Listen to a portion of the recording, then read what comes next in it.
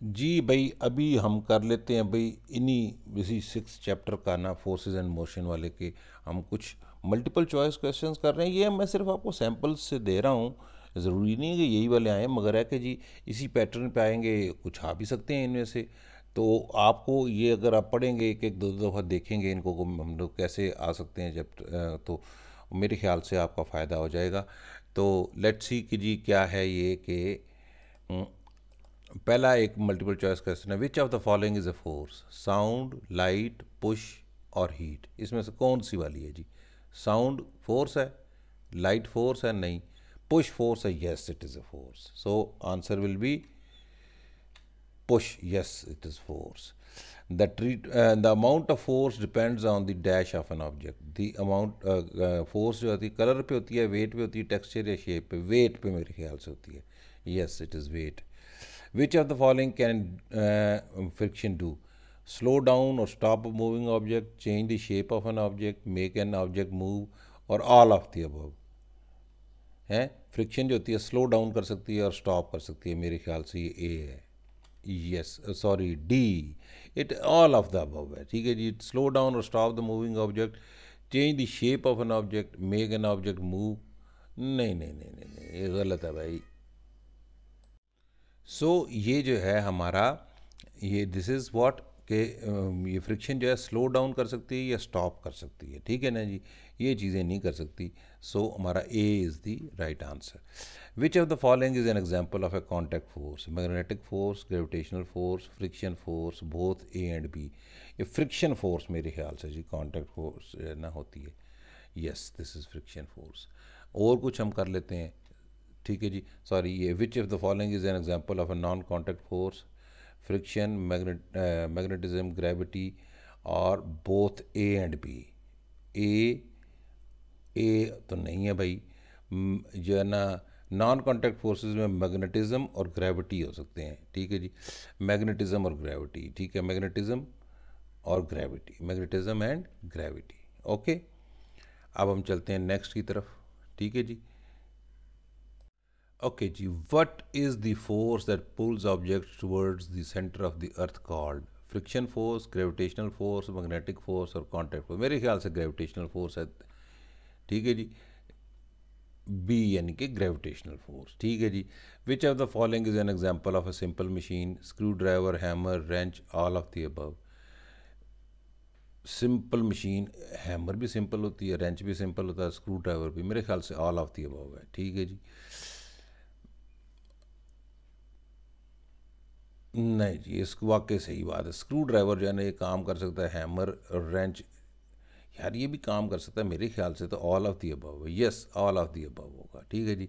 Which of the following is a flat surface with a gradual slope that helps to move heavy object up to a certain height without much effort wedge lever inclined plane yes inclined plane A pulley is a simple machine used to dash object, used to cut, split, lift or screw. Lift, yes, C, lift.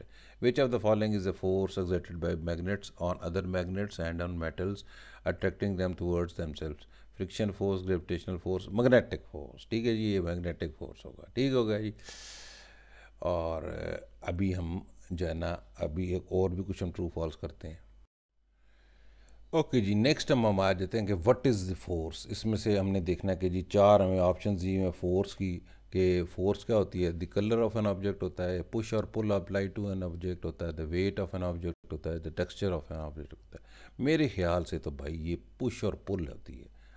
क्या ख्याल है?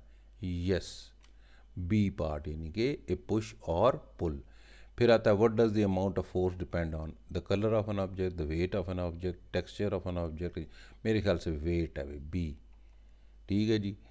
And what can a force do change the shape of an object change the direction of a moving object slow down और stop a moving object all मेरे ख्याल से all कर सकती है जी ठीक है जी? All of the what are forces that act between two objects that are in direct contact with each other called ठीक है, ये देखें that are in direct contact direct contact वाली तो क्या हो गई ये कांटेक्ट फोर्सेस होंगी जी।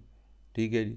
बाकी को तो कोई भी नॉन कांटेक्ट फोर्स है मैग्नेटिक मेरे ख्याल से कांटेक्ट फोर्सेस है। यस ए है contact forces what are the forces that act between two objects that are not in contact with each other called ये तो non contact forces simple simple ना gravitational magnetic या जो है ना that are in not in contact जो है वो नॉन कॉन्टैक्ट फोर्सेस कहलाएँगी। वैसे तो मैग्नेटिक फोर्सेस ग्रेविटेशनल फोर्सेस भी जो है ना, ये भी यही कहलाती हैं, पर इनको आम सिंपल वर्ड में हम नॉन कॉन्टैक्ट फोर्सेस कह सकते हैं। ठीक है नॉन कॉन्टैक्ट फोर्सेस नेक्स्ट हमारा एक आता है कि what is the force that tries to slow down और stop the movement of object moving when it is in contact with another object called yes friction gravity magnetic ये friction कहलाएगा जी। Yes friction ठीक है जी? what can friction be depending on the um, circumstances? Useful harmful both a and uh, b neither a nor b. mere khayal se both a and a, a and b hai yes dekhiye na both a and B. hai what is a wedge? A simple machine made up of a rigid bar that nahi nahi ye nahi hai a flat surface ye bhi nahi ho sakta a v shaped object with two inclined planes that meet at a sharp point. Yes ye mere khayal se banta c.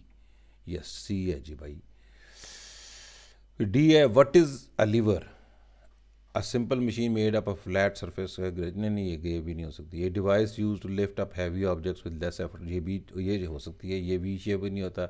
A rigid bar that is placed in such a way that it can move freely around fix point yes this is the most appropriate I think कि lever जो है, ये ये वाला होगा। D है yes answer ठीक है डी है।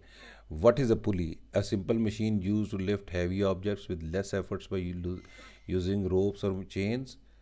A simple machine used to lift heavy objects with less effort by using rope. ये ये बात ये मुझे लग रही है चलें बाकी पढ़ लेते हैं device use to cut down नहीं व्हील विद एक्सल ये भी नहीं है ये भी नहीं ए फ्लैट सरफेस नहीं ये भी नहीं मेरे ख्याल से ए है जी हाँ यस ए है जी इसका आंसर ठीक है जी ओके अभी हम एक और भी कर लें ठीक है, एक और कर लेते हैं, फिर उसके बाद आपका काफ़ी सारा काम हो गया होगा। फिर हम नेक्स्ट जो वीडियो है, उसमें देखेंगे। ठीक है जी? अब आता है what can a force do to a stationary object change its shape make it move slow down और stop it movement all of मेरे ख्याल से ऑल ऑफ़ द अबव करती है। ठीक है जी? डी है all of the above what can a force do to a moving object change its speed change its direction both A and B none of the above मेरे ख्याल से ये सी है। यस सी है। Which are the following is an example of a contact force friction ये friction जो है इसका कॉन्टैक्ट फोर्स की किस्म है। ठीक है ना सी हमारा आंसर है। Which are the following is an example of a non contact force non contact gravity भी हो सकती है मैग्नेटिक भी हो सकती है फ्रिक्शन भी हो सकती है। फ्रिक्शन नहीं है। फ्रिक्शन नॉन कॉन्टैक्ट नहीं है। ये ए ए एंड सी नहीं नहीं नहीं नहीं नहीं नहीं भाई, ये example of non contact force जो होती है, ये ग्रेविटी हो सकती है और मैग्नेटिज्म इनमें से कोई भी आप लिख सकते हैं। ए एंड सी फ्रिक्शन नहीं हो सकता। या ग्रेविटी लिखेंगे आप या मैग्नेटिज्म लिखेंगे, ठीक है जी? ठीक है? आप मैग्नेटिज्म लिख सकते हैं, ठीक है? विच इज़ मैग्नेटिज्म ग्रेविटी को इसलिए भी कह रहे हैं कि ज़मीन के ऊपर भी जो चीज़ पड़ी हुई होती है ना कॉन्टैक्ट में भी होती है, उस पर भी ज़मीन एग्जर्ट कर रही होती है। सो इसको कॉन्टैक्ट और नॉन कॉन्टैक्ट दोनों कह सकते हैं। So magnetism will be the most appropriate if से के इस दोनों में से ग्रेविटी या मैग्नेटिज्म में से। क्योंकि ग्रेविटी ऐसे भी तो सकता है ज़मीन के साथ इन कॉन्टैक्ट भी जो चीज़ें होती हैं उन पर भी फोर्स हो तो एग्जर्ट तो कर रही होती है। मैग्नेटिज्म में ये होता है कि जी जो है अगर दूर से भी एग्जर्ट कर सकती है। What is the force of earth that pulls objects toward downwards to centre is called gravitational force fictional force मेरे ख्याल से ग्रेविटेशनल फोर्स है। यस ग्रेविटेशनल फोर्स है। अब अगला आता है which of the following is a simple machine made up of wheel attach to a rod ये क्या है जी? Wheel axle pulley lever wedge क्या है इसका आंसर इसका आंसर है जी व्हील एंड एक्सल ठीक है जी? What is the name of the flat surface with a gradual slope that helps to move heavy ये क्या है जी? इनक्लाइंड प्लेन है मेरे ख्याल से इसका आंसर यस इनक्लाइंड प्लेन है जी. What is the name of the simple machine made up of rigid bar that is placed in such a way that it can move ये ये लीवर होगा. यस लीवर है. ठीक है जी? What is the name of simple machine use to lift heavy object which less effort by using ropes और machine ये pulley होती है यस पुली है।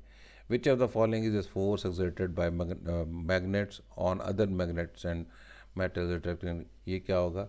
मैग्नेटिक फोर्स यस ये मैग्नेटिक फोर्स है। ठीक हो गया जी? सो so, हमने अभी ये भी कर ली मल्टीपल चॉइस क्वेश्चन इस तरह के आ सकते हैं आप अगर पढ़ लें और उस क्वेश्चन को ज़रा गौर से पढ़ा करें तो जवाब आपको ऑटोमेटिकली मिल जाता है। ठीक है जी? Take केयर अल्लाह हाफिज़ विश यू गुड लक अल्लाह ताला करे कि आप लोगों के पेपर्स आप लोगों के लिए बरकत का और आसानियों का बायस बने और घबराए बगैर पेपर्स दें और तैयारी करेंगे तो अल्लाह ताला मदद कर देगा आपकी।